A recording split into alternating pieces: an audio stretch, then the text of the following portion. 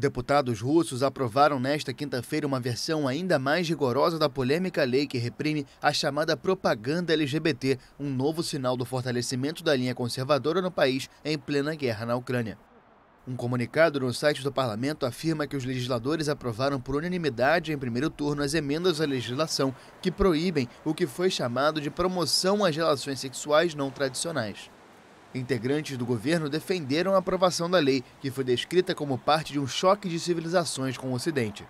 O projeto ainda deve ser submetido a mais duas votações antes de ser enviado à Câmara Alta do Parlamento e, se aprovado, passar para ser promulgado pelo presidente Vladimir Putin. As emendas endurecem uma lei de 2013 que criminaliza a divulgação do que as autoridades denominam como propaganda gay para menores de idade. Agora, a lei também veta a negação dos valores familiares e a promoção de orientações sexuais não tradicionais dirigidas a adultos. As proibições envolvem os meios de comunicação, a internet, a literatura e o cinema, além da publicidade. Qualquer infração provoca multas elevadas e os estrangeiros que desrespeitarem a lei podem ser expulsos do país.